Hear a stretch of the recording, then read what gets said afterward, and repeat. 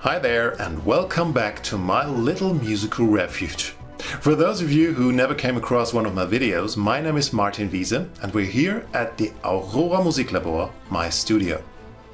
Today, I want to talk about my latest demo work called Underdog, which has been exclusively written for the new Dark Mass expansion for Retrologue 2. Dark Mass has been produced by the marvelous guys from The Solos. They do a lot of trailer work, and this is exactly what this expansion is aiming at the big screen. And I'm talking about very big, very vast CinemaScope kind of screens. What seldomly happens with synth expansions, and I know tons and tons of them, is that nearly all of the sounds in there kicked me while I was skipping through the presets. And a little selection of those really cool sounds in there I want to show to you today. So let's have some fun. What you can easily see is that I've spiced things up this time because for a trailer-like piece of music I needed some orchestral colors from Iconica. By the way, a really high-quality full orchestra library from Steinberg that covers the whole range of orchestral instruments that you need for cinematic music. The drums and some additional sounds I did with the help of Backbone, another stunning new instrument that Steinberg released about a year ago. I've done demos for both Iconica and Backbone, so if you're interested, go ahead and watch them too. I've organized all of the sounds in three folders named after the libraries or instruments used, so we have all the dark mass sounds up above here, the orchestra stuff from Iconica here, and all the way down all the backbone sounds appear. What I want to do today is to have a look at all of the sounds I've taken from Dark Mass so that you can get an idea of how the presets sound and what you can do with them. But first of all, let's have a listen to the track.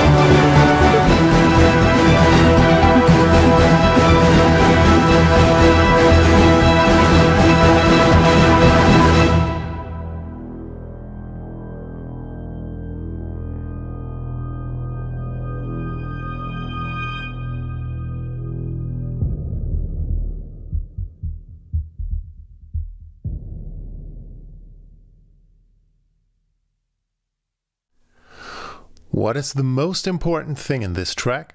Bass, right?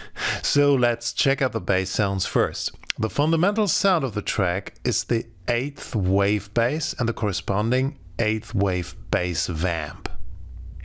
The vamp creates the melodic bass pattern, while the simple wave bass supports the fundamental notes of the different chords. They first appear after the build-up part, so let's listen to them in solo mode. You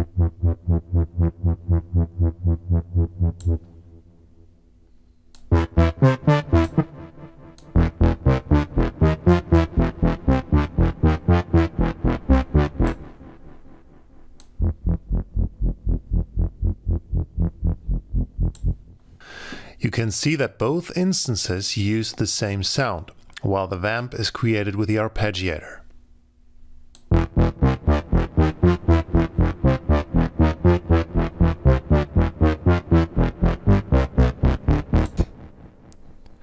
I now want to give you a short comparison between the original sound and my modified version.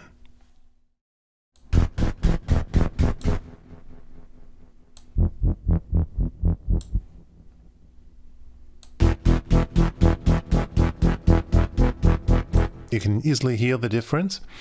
Let's do the changes. Bitrate to tube. See what happens. Almost there. Cut off to 10.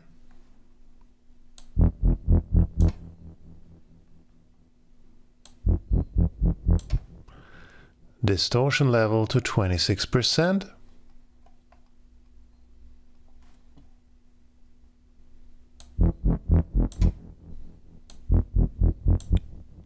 There we are. The second important arpeggiator-based bass sound is bass arp build-up. That, as the name indicates, appears in the build-up part after the intro.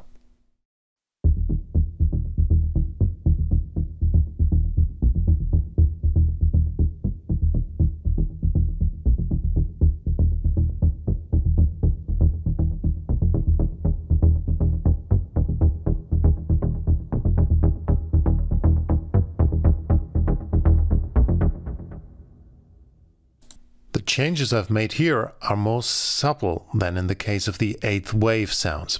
I've just added the synth noise over here and dialed in some reverb. The problem with bass and reverb is simple. A bass easily becomes muddy and less powerful the more reverb you add. That's the one side. But on the other side, within a track like this, I want to create emotions around a sound. So I need reverb. For that reason, I added only a little 9% of the reverb to create a smooth room around the bass. The high cut is at around 2 kHz, the main time is moderate, but the room size is all the way up. So let's have a listen to the sound with and without reverb.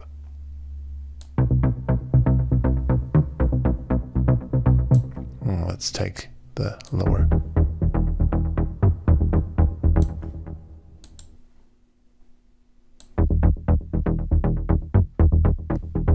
Quite a difference, right? So you can easily hear what kind of emotion the reverb gives to the sound.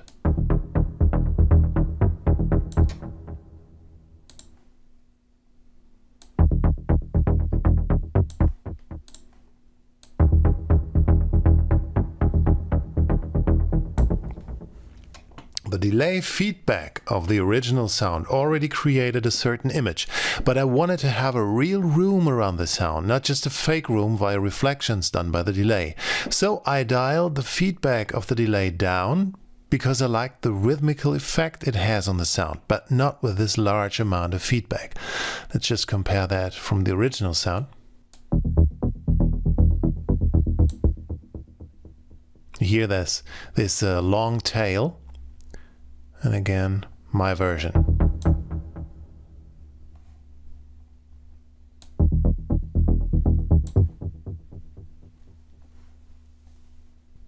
The opening drone is another important sound of the track, which I didn't change at all. Demon Sync is an ideal attention grabber drone bass that makes use of the mod wheel connected to the cutoff to rise the energy level at any point of time.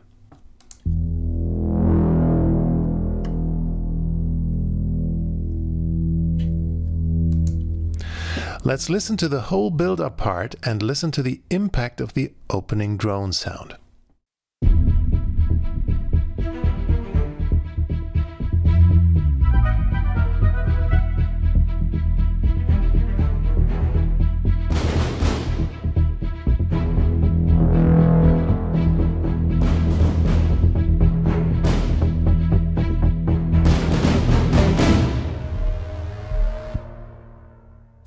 I love that sound because it's exactly what you need for epic trailer-like contexts.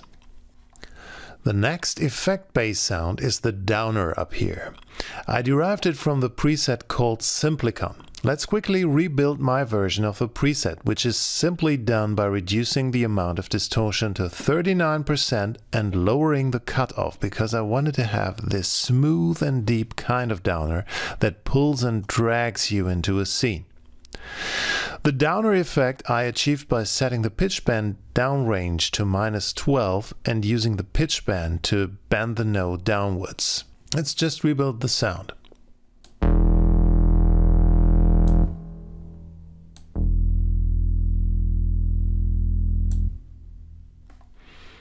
See, cutoff at 74, cutoff in the original 166. Let's rebuild it.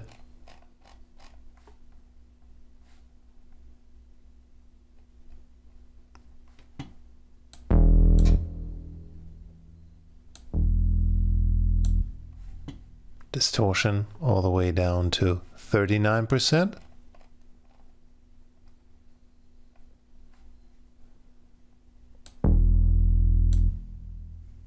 And what you can also see is that I changed the attack time here in the envelope.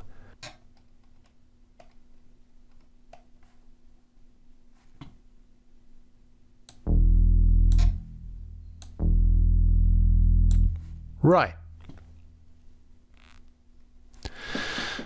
Now I'm going to demonstrate you the downer effect. Or just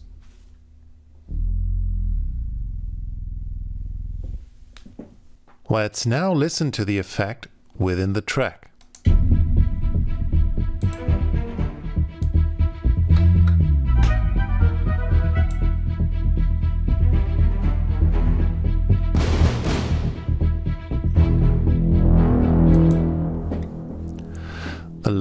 Bass sounds I wanted to discuss are the three basses added to 8th wave bass in the main part. Bass ARP A main, which works together with 8th wave bass, while drone bass enriches the bottom end and brass bass support strengthens the bass line to cut through the mix. Let's listen to them separately, then adding them up one another to see how they work together.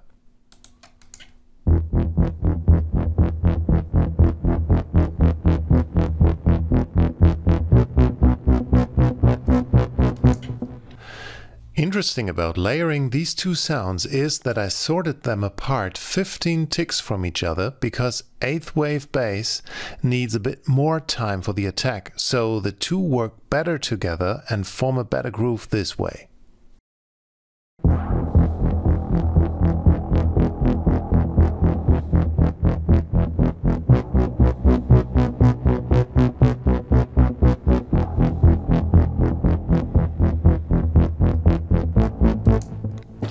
Now, once again, all together within the mix.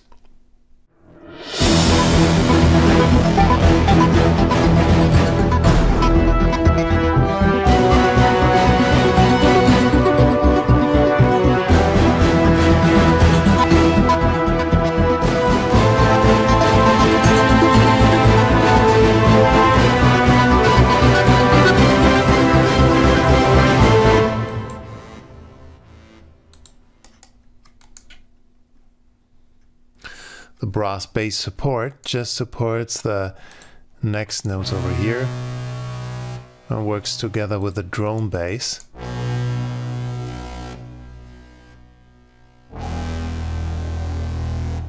Just as I said, enrich the sound. The bass ARP outro pulse, by the way, is just the same sound used for bass ARP buildup, just with a reduced pattern and a lowered cutoff.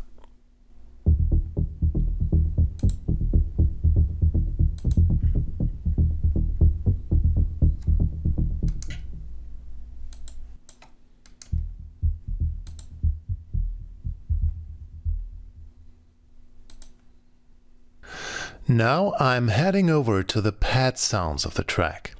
There aren't very many of them, but that doesn't mean that they are irrelevant. Quite the opposite. Let's have a look at the very beginning of the track.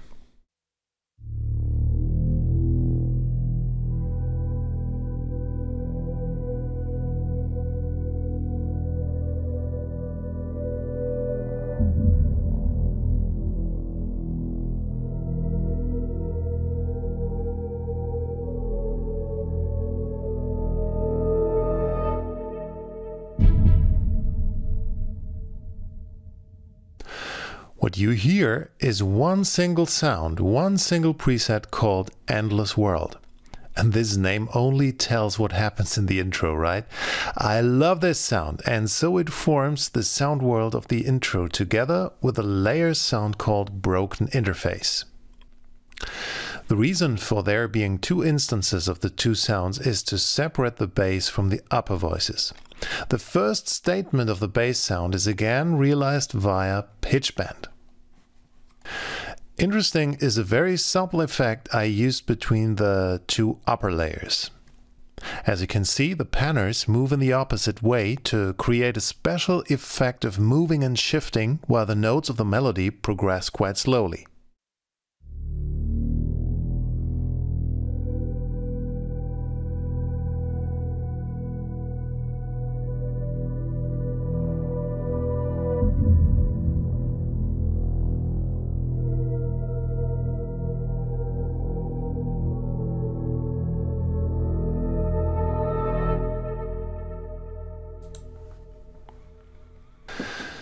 Next pair of pads are the pads A and B in the main part. Let's listen to them separately. I would bet that no one of you realized these two guys while just listening to the track. Let's start with pad A.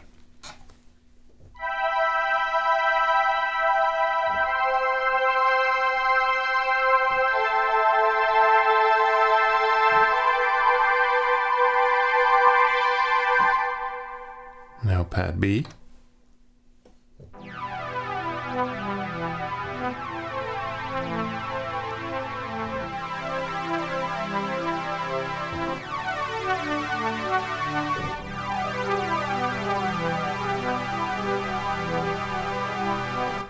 As you can easily hear, the two different sounds cover different ranges of the frequency spectrum, and this is why they both together form a wide and big pad unity. What's quite astonishing is that pad B forms the upper layer instead of pad A sounding much higher, right? But exactly this helps binding them together to work as one pad. Listen to them combined.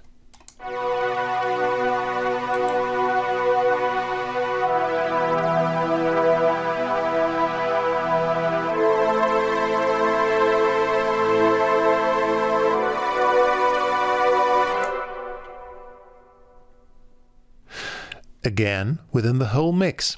In between I'm going to mute the pads for you can hear how they really work.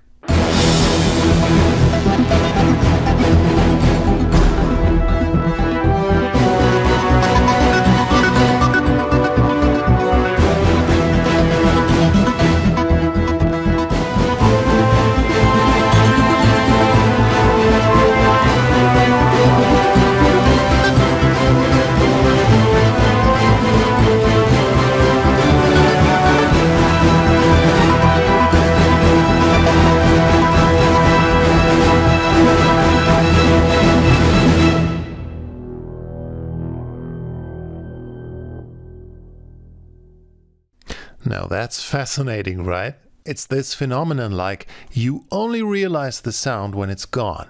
And that's what these pads do so perfectly. They provide a wide space, even a reverb to the to the melody, while laying out the harmony of the main part in a very defensive way.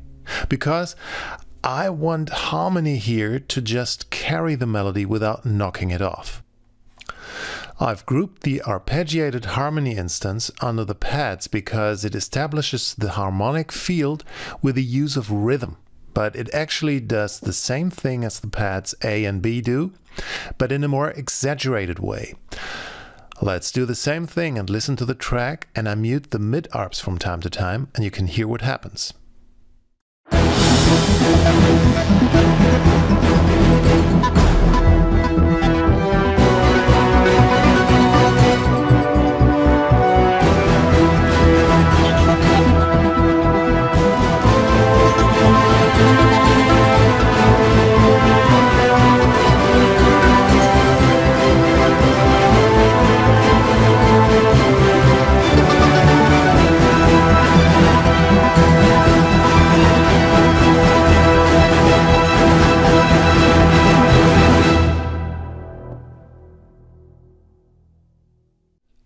Again, you can hear what an important role this one plays in connecting the harmonic range to the rhythmic range. At this point, let me spot the percussive arpeggiator sounds down here for a moment.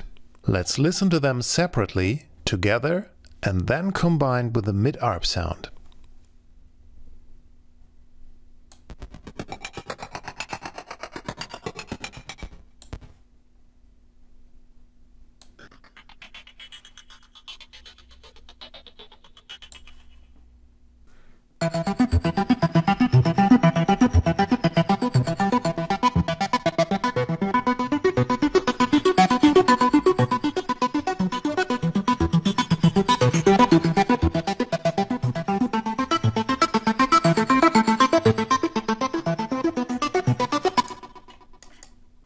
See here, I've created two separate layers of the same sound. And this happens due to the dimension aspect I wanted to add to this sound. There's really a lot going on within the main part and so I had to clear things up a bit to help every aspect shine through in the very busy mix. As you can see, I've separated the two sounds 12 ticks from each other to create the well-known Haas effect. To create dimension by delaying two identical signals and panning them left and right in the stereo field. I didn't push the effect too hard in this one. I only set them 64 and 61 left and right on the panner just to make room for melody and bass in the center range. The ticky arp is set of 4 ticks too, and together the sounds form a cool 16th addition to the bass groove.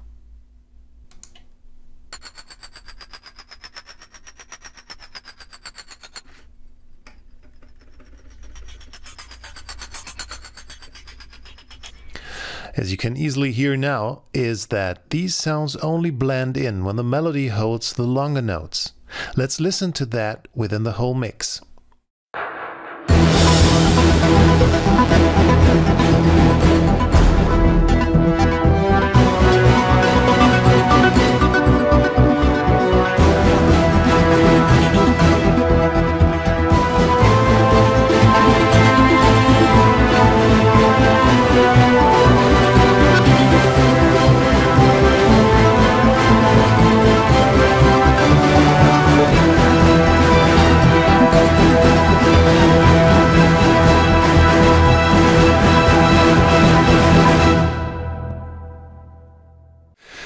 It's a very important thing to focus on what is most important for the music, and in this case, melody is everything.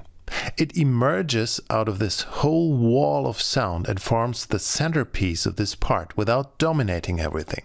The melody consists of three layers.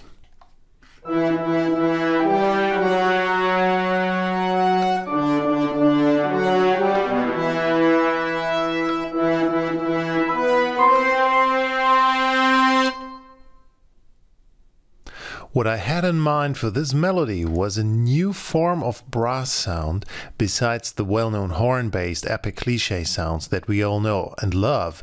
I wanted it to sound like dark mass version of real brass. Of course, the brass from Iconica forms the backbone of the sound in the lower octave, while the two lead sounds from dark mass add a strange and large dimension to it. Interesting is the microphone setup I chose for the Iconica Brass. I took my favorite tree mic and added the surround instead of the close mics. I wanted to have a clear sound that still doesn't feel too much like center stage. With this combination, I have a big brass sound that doesn't mud away in the mix, so I didn't add any more reverb to the brass. The reverb comes from the two lead layers.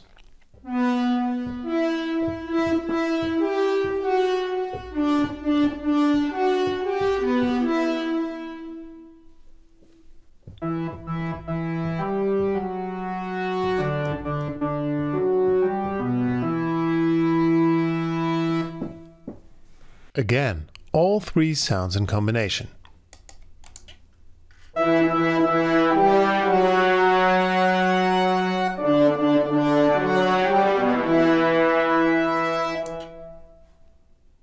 Here you can see the spreading of the sounds over the range of octaves. Brass is the fundamental sound while the two pads cover the upper frequency range.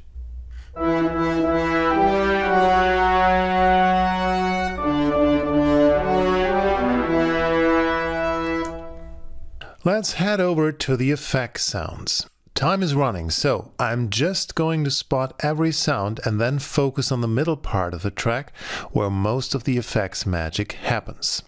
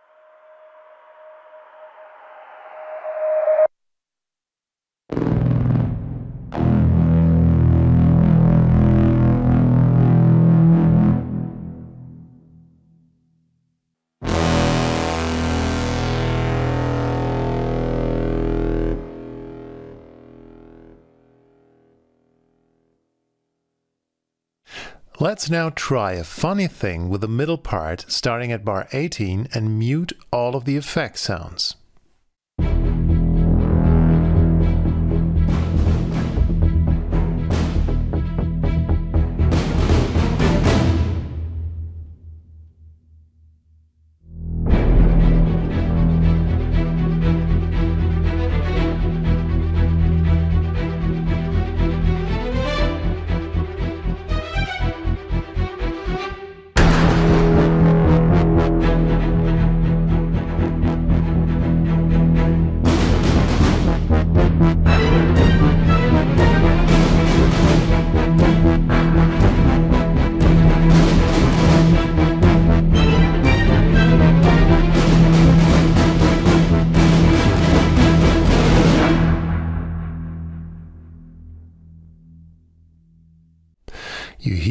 That the music is still there, but as I said, all the magic and the power coming from the effect sounds is gone.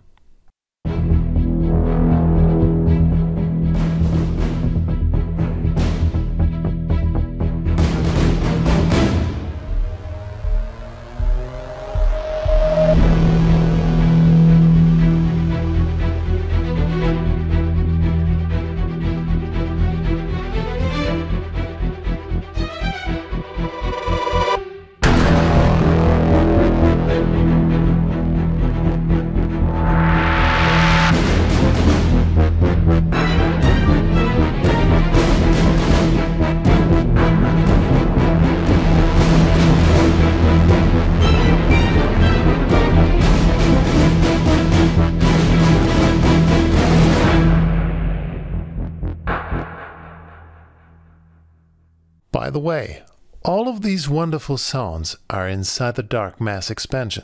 150 presets full of inspiration or ready to use sounds. A really awesome pack. And I'm not just saying this because I'm doing a video for Steinberg right now, but believe me, I know tons and tons of synth expansions, and I seldomly spot such an extraordinary selection that is clearly named, ready to use, and inspiring in the same way. While slowly reaching the end of this walkthrough video, I want to talk a bit about the orchestral additions and the drum sounds coming from Iconica and Backbone. The big drums consist of two sonic elements, toms and snares. First we have the original toms from Iconica above here, teamed up by the toms and snares done with Backbone. For the snare sound, I created a group sample using all snares of Iconica and then importing it to Backbone, resulting in this very cool synth kind of snare sound.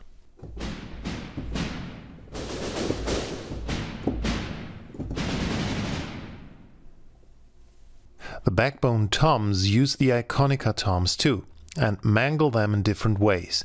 To create this group effect, I doubled the tom synth and swapped the LR positions for a richer sound and added a dry tom layer on top to get a little more grip and attack.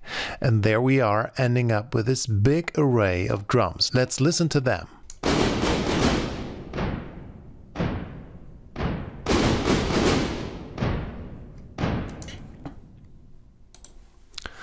Let's add Gran Casa and the toms from Iconica.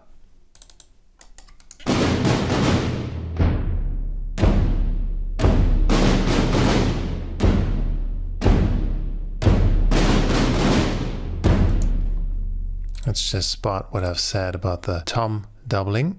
You can see here and here. Just the opposite. Let's listen to them all together within the mix.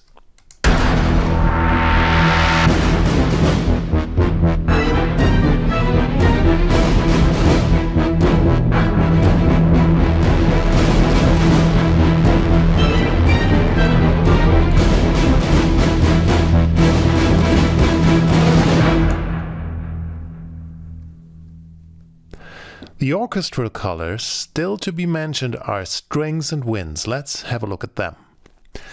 In the middle part, they perform a little dialogue while the woodwinds spice up the high strings.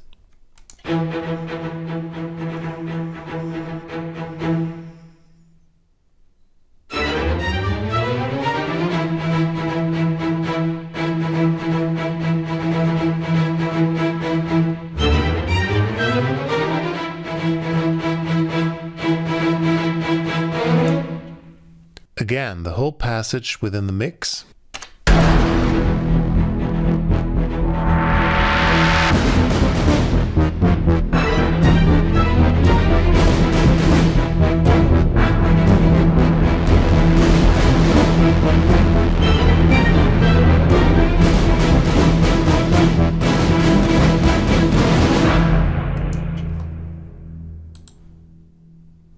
This whole little idea is built around the two minor triads going downwards, E minor shifting to G minor back and forth.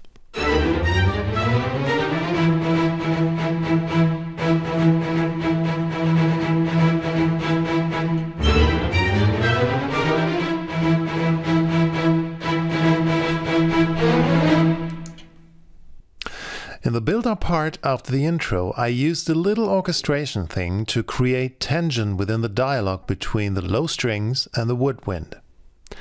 Low strings open the conversation and the woodwind answers.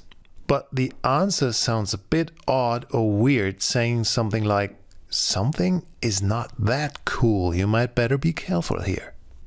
You can see that we still have this E minor to G minor idea, but it's more dissonance in there. Look at the last phrase.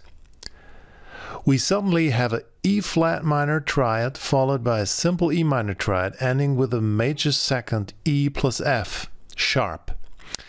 Listen to this phrase alone and imagine a deep underlying E coming from the bass.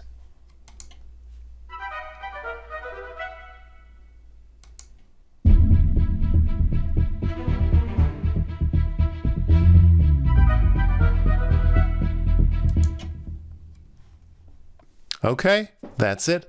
We're through the piece.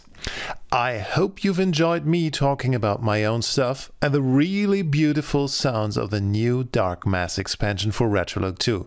Stay tuned and have fun making your very own music. Bye bye, see you next time.